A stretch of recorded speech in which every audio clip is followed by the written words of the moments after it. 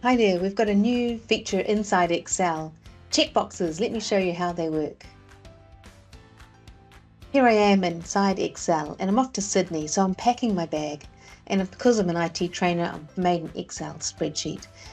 Here's the items I want to list. I put them in a table because I love tables. But look at this, insert checkbox. I love this. Click and drag down. Have I got my jacket? Yes. Dress? Yes. Boots? Oh look I've got all these things ticked off. Now before I go I'll make sure I've got them all and then I'm off on holidays